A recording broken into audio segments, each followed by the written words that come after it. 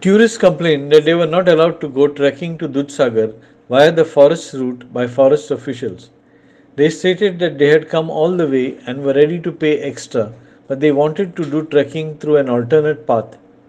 But the forest department officials insisted that they either go by jeep or take the road taken by jeeps. Forest Authority are insisting that they go trekking only along this road where alongside with the jeeps which is really unfair because there is another route across this river on the other side which goes trekking which is totally non non-pollution and uh, very nice track to go to the Dudhsagar waterfall.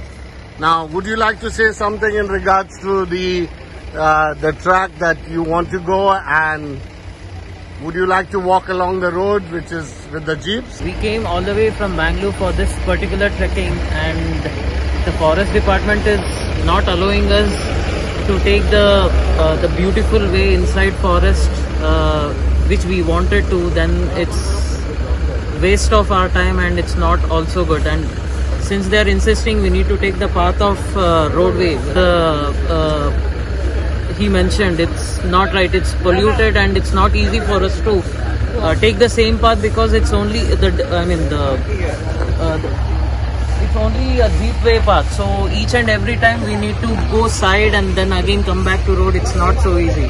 So yeah they should stop this and the trekking should start. Freddy Fernandez for Herald TV.